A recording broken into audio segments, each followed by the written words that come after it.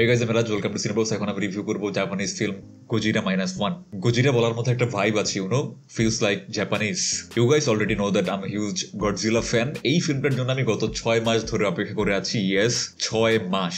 প্রায় ছয় মাস আগে সিনেমাটা রিলিজ হয়ে গেছে বাট যেহেতু বাংলাদেশে রিলিজ হয়নি, এই জন্য আমাকে অপেক্ষা করতে হয়েছে যে কবে ফিল্মটা ডিজিটালি অ্যাভেলেবল হবে। তো ফাইনালি ডিজিটালি অ্যাভেলেবল আমি দেখে ফেললাম তাকাশি ইয়ামাজাকির গডজিলা মাইনাস ওয়ান এখানে পোস্ট ওয়ার জাপানের একটা পটভূমি দেখানো হচ্ছে, যেখানে যুদ্ধ বিধ্বস্ত জাপান আবার ঘুরে দাঁড়ানোর চেষ্টা করছে। ঠিক এই সময় তারা ফেস করছে আরও একটা বড় এবং ভয়াবহ থ্রেট যেই থ্রেটের সাথে কীভাবে লড়াই করতে হবে সেই ব্যাপারে কারও কোনো আইডিয়া নেই। এমন একটা থ্রেট যে যে কোনো সময় কোনো কারণ ছাড়াই ধ্বংস করে দিচ্ছে জাপানিজ বিভিন্ন সিটি হাজার হাজার মানুষ নিমেষেই ঢলে পড়ছে মৃত্যুর কোলে। তো এই ভয়াবহ আননোন আনবিলিভেবল থ্রেট গডজিলাকে কীভাবে মোকাবেলা করবে যুদ্ধ বিধ্বস্ত জাপানের মানুষ?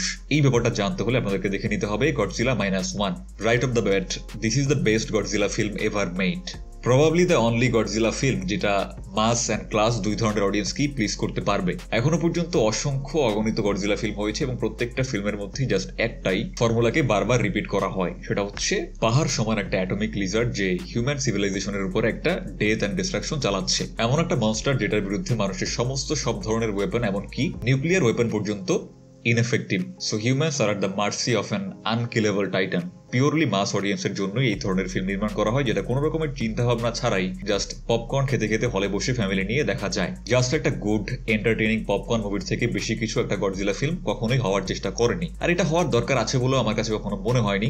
বিগ স্ক্রিনে বড় বড় টাইটানদের একে অপরের সাথে ফাইট করতে দেখা যাচ্ছে, এর থেকে বেশি আর কি চাই? I don't need another one of those thought provoking story line এই ধরনের ফিল্ম দেখার একমাত্র উদ্দেশ্যই হচ্ছে I just want to have fun that's it এর থেকে বেশি কখনো এই ধরনের ফিল্ম থেকে আমি কোনো কিছু আশা করিনি। বাট এই ফিল্মটা দেখার পরে তাকাশি আমাজাকে এখানে দেখিয়ে দিয়েছে that Godzilla film can be more than that human ড্রামাটাকে এখানে এমন চমৎকারভাবে দেখানো হয়েছে যে I actually fell for them this is again another surprise because Godzilla ফিল্মের ক্ষেত্রে অধিকাংশ অডিয়েন্সেরই একটা মাত্র কমপ্লেন সেটা হচ্ছে, তারা টু মাছ হিউম্যান ড্রামা একেবারেই দেখতে চায় না। এই ধরনের ফিল্ম একমাত্র দেখার কারণই হচ্ছে টাইটানদের দেখা। ডেথ অ্যান্ড ডিস্ট্রাকশন এটাই আমরা কেবলমাত্র চাই।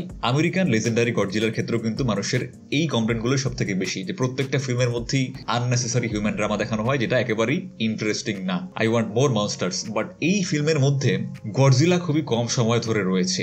অধিকাংশ সময় প্রায় ফিল্মের পুরোটা সময় জুড়েই রয়েছে এই হিউম্যান ড্রামা বাট এই ড্রামাটাকে এত চমৎকার ভাবে এত এঙ্গেজিং ভাবে লেখা হয়েছে যে এই জিনিসটা একটা মোমেন্টের জন্য আমার কাছে বোরিং লাগেনি। ইনফ্যাক্ট ফিল্মের একটা পর্যায়ে গিয়ে আমি অ্যাকচুয়ালি এই হিউম্যানদের জন্যই রুট করতে শুরু করে দিয়েছিলাম। যেই ব্যাপারটা অ্যাগেইন অ্যানাদার সারপ্রাইজ বিকজ যখন একটা গডজিলা ফিল্ম আমি দেখি I want death and destruction Godzilla একের পর এক সিটির উপরে ডিস্ট্রাকশন চালাচ্ছে, হাজার হাজার মানুষ জাস্ট ছাই হয়ে যাচ্ছে নিমেষেই। I love that I want that এই সমস্ত হিউম্যানদের জন্য আমার একটা মুহূর্তের জন্য কোনো ফিল্ম দেখে কোনো দয়া মায়া অ্যাকচুয়ালি হয়নি। ইনফ্যাক্ট আমার দেখতে ভালো লাগে যে গডজিলার পায়ের নিচে এই সমস্ত হিউম্যানরা জাস্ট পিঁপড়ের মতো মরে যায়। I always enjoyed that but এই ফিল্মে তার সম্পূর্ণ উল্টোটা ঘটেছে জাস্ট বিকজ এই ফিল্মের ক্যারেক্টার রাইটিং এতটাই চমৎকার। এখানে একটা ফেইল্ড কামিকাজে পাইলটকে দেখানো হচ্ছে, যে ওয়ার্ল্ড ওয়ার টু এর সময় তার ডিউটি অ্যাবান্ডন করেছিল। তো সে নিজেকে একটা ফেইলিওর হিসেবে দেখে। কোনোভাবেই সে নিজেকে নিয়ে সন্তুষ্ট না। যুদ্ধ যেহেতু শেষ হয়ে গেছে বাট তার জন্য তার ইন্টারনাল কনফ্লিক্ট কিন্তু এখনও পর্যন্ত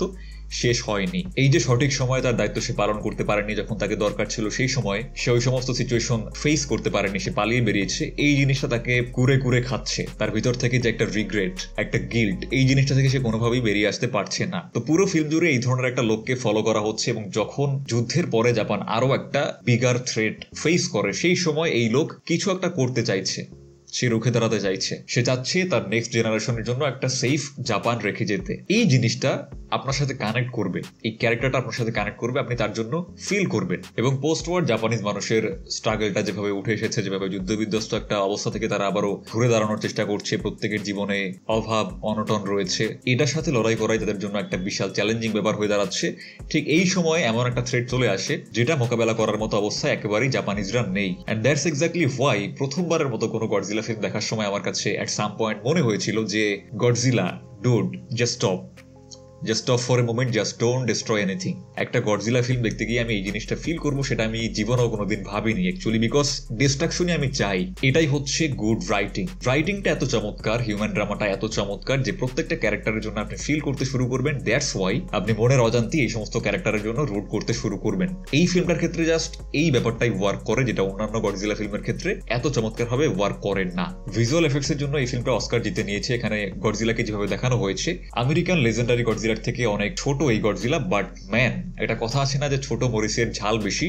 এই গডজিলাটা, এর ডিজাইনটা যেভাবে করা হয়েছে he is one scary motherfucker তার চোখ, তার হাঁটা চলা দেখলে আপনার ভয় লাগবে, মনে হবে যে একটা মৃত্যু দানাও আপনার দিকে এগিয়ে আসছে। বিশেষ করে তার চোখটা এবং যে সমস্ত কিছু কিছু মোমেন্ট রয়েছে, যখন Godzilla he just kind of recharge himself এই সমস্ত মোমেন্টে তার অঙ্গভঙ্গি দেখে জাস্ট হার হিম হয়ে যাবে। শেষের দিকে একটা মোমেন্ট রয়েছে যখন গডজিলা তার অ্যাটমিক ব্রেথটার জন্য নিজেকে প্রিপেয়ার করছে রিচার্জ করছে। ওই মোমেন্টে গডজিলার যে অঙ্গভঙ্গি ছিল, তার দিকে তাকিয়ে আমার জাস্ট কিছুক্ষণের জন্য হার হিম হয়ে গেছে। ওই দৃশ্যটাকে এমন ভাবেই সাজানো হয়েছে। কোনো ব্যাকগ্রাউন্ড মিউজিক নেই স্লো মোশনে দেখানো হচ্ছে। সেই মোমেন্টে গডজিলা নিজেকে রিচার্জ করছে, তার ওই অঙ্গভঙ্গি, চোখ মানে যেটা দেখে মনে হয় যে this is the end of the world এইরকমের একটা ভয়াবহ দৃশ্য।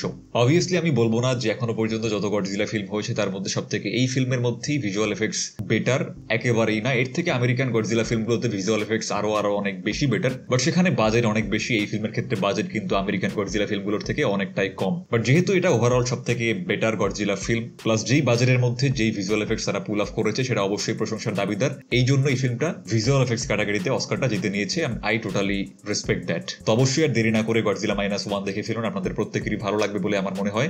আমি কোনো এভিশন ফোর আউট অফ ফাইভ রিভিউটা দেখার জন্য অসংখ্য ধন্যবাদ। কমেন্টে আপনাদের মতামত অবশ্যই জানাবেন। যদি আমাদের চ্যানেলে প্রথমবার হতে থাকেন প্লিজ লাইক অ্যান্ড সাবস্ক্রাইব দেখা হচ্ছে নেক্সট ভিডিওতে টিল দেন টাটা।